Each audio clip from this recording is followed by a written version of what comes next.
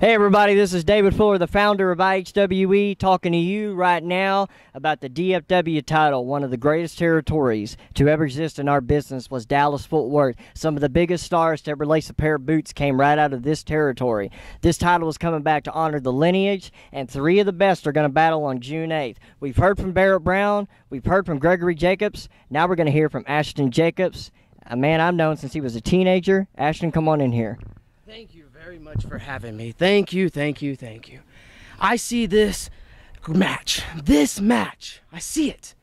Three of the best wrestlers. It's not going to be a great match. It's going to be a war.